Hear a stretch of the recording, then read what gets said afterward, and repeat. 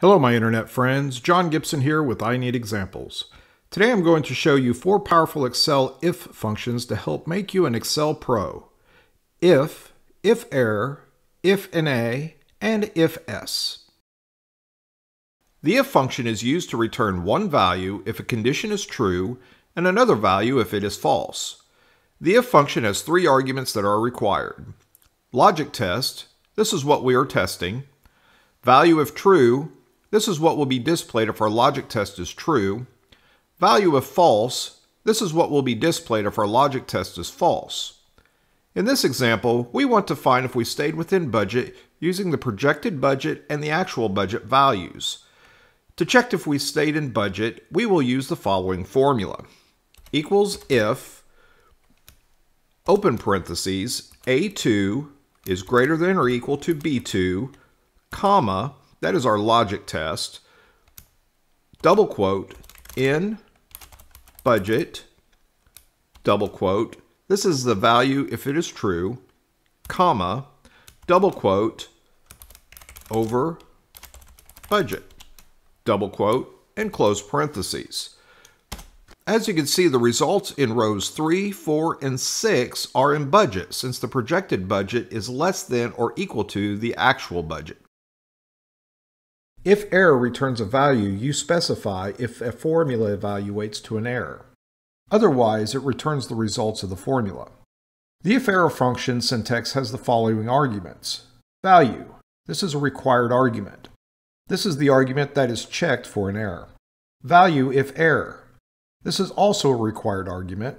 This is the value that is returned if the formula evaluates to an error. We will be using our billing invoice as an example on how to use the error function. In our invoice, we have two line items, item 1 and item 2.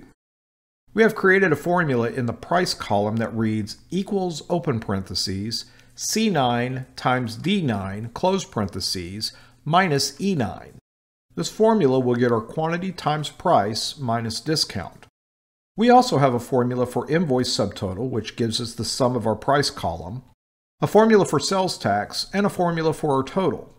Each one of these formulas are dependent on other cells in the invoice. So if there is an error in one of the formulas, then it can cascade throughout the invoice. For example, let's put in a discount for item 1. If we put in $1, then the values in the invoice update as expected. But if we put a value such as X, then all the formulas will return a value error. To fix this, let's start with the total formula. Click on the total value in cell F18. In the formula bar, you will see our formula. Let's copy this formula, but do not include the equal sign. We will use this copied formula shortly. Now delete the formula in the formula bar, then click on the Insert Function button. Our Insert Function dialog box appears. In the search for a function, enter if error and click on Go. You will see in the Select a Function text box the if error function. Click on this function and click on OK. Now our function arguments dialog box appears. We have two arguments we need to populate. The first is our value. Paste the copied formula into this box. Tab to the next box, value if error, and type in error in calculation. Since we know this is going to error out due to the values having errors, we do expect to see a value error and the formula results reading error in calculation. Now click on OK. Let's do the same thing for sales tax. Click on cell F15 and copy the formula into the formula bar. Remember to leave off the equal sign. Delete the formula in the formula bar and click on Insert Function. Select the if error function and click on OK. Paste the formula in the value text box and enter error in calculation in the value if error text box and click on OK. Again, as you can see, the sales tax value now reads error in calculation. Let's repeat this for invoice subtotal.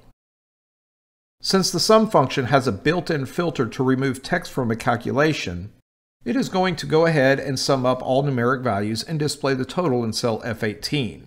Lastly, let's update the price column to use the if-error function. Since the price column is in a table, all cells in the price column will now have the if-error function. Now that we have all of our if-error functions in place, you can see that the invoice total, sales tax, and total all have values based on valid numbers in our invoice. If we remove the error in the discount column, then this price will be updated and all values will be correctly updated. The IFNA function returns the value you specify if a formula returns the NA error value. Otherwise, it returns the results of the formula. The IFNA has two required arguments. Value, the argument checked for the NA error value. Value if NA, the value to return if the formula evaluates to an NA error. In this example, we have a food menu, cells D7 through E11. We would like to type in the food item in cell D4 and return the price in cell E4. Using the combination of the IfNA and a and VLOOKUP function, this is an easy check. In cell E4, let's enter the following formula. Equals if NA, open parentheses, VLOOKUP, open parentheses, D4, this is our value that we're going to be using to look up, comma, D7, colon, E11, comma, 2, comma, false. Next, we're going to enter in the value if NA. This is simply comma, double quote, not found. Double quote, close parentheses. When we hit enter, as you can see, cell D4 shows not found. That is because we do not have a value in D4. So let's put in a value in D4. We'll put in pizza. And when we hit enter, the result is now $10.99. If we put a value in there that does not have a value in the menu, such as donuts, you will see that the result is not found. The ifs function checks whether one or more conditions are met and returns a value that corresponds to the first true condition. If-S can take the place of multiple nested if statements and is much easier to read with multiple conditions. The if-S function has two arguments that are required. Logic test, this is what we are testing, and value if true. This is what will be displayed if our logic test is true. A good rule to follow is to specify a default result. Enter true for your final logic test argument. If none of the other conditions are met, the corresponding value will be returned. In this example, we want to find the value of our salespeople based on their weekly sales. We will create a formula that has a value to check against the weekly sales in column B and return a status value. To check the salesperson's status, we will use the following formula. Equals if S, open parentheses, B2 is greater than or equal to 5,000 comma, amazing, comma, B2 is greater than or equal to 3,000, comma, great,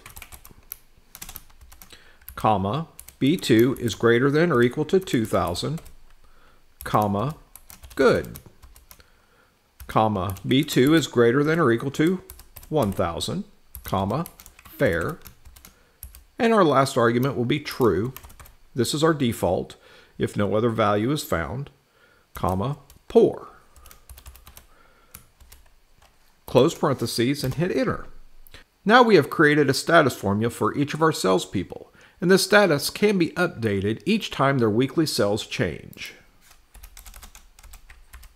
Thank you for watching. If you found this video helpful, please like and subscribe. Comment below if you would like to see examples on a specific topic. Have a wonderful day, and I will see you next time.